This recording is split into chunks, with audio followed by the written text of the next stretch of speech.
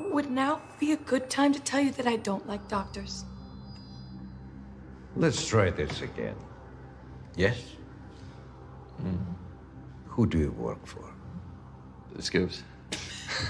Scoops Ahoy. How did you find us? Totally by accident. a bit weird. What is that shiny little toy? Whoa, whoa. Hey, see, hey, whoa, wait, no, wait, wait, no. whoa, whoa, whoa. There was a code, there was a code, we heard a code! Code. What code? The week is long, the silver cat feeds when blue meets yellow in the west. Blah, blah, blah. You broadcast that stupid spy shit all over town, and we picked it up on our Cerebro, and we cracked it in a day. A day!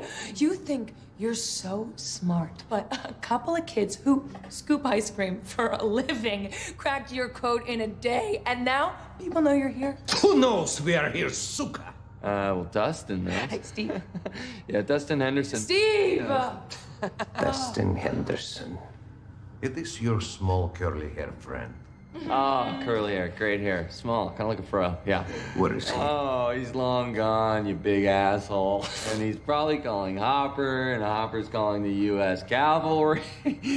They're gonna come in here, commando style, guns ablazing, and kick your sorry asses back to Russia. You're gonna be two pieces of toast. Is that so? yeah. Yeah.